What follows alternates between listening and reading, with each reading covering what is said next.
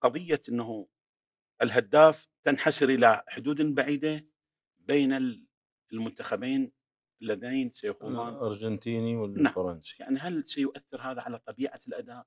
يعني ميسي بخمسة وزميله الفارز أعتقد بأربعة.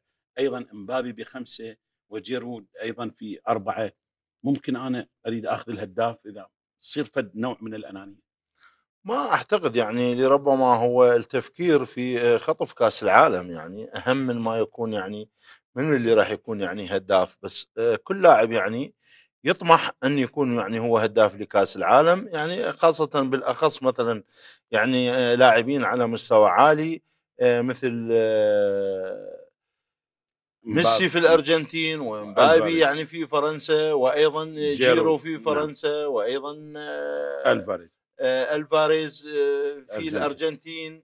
يعني هذا أنا أعتقد يعني خير دليل إن راح يكونون آه، أربع لاعبين وكل آه، اثنين من كل فريق.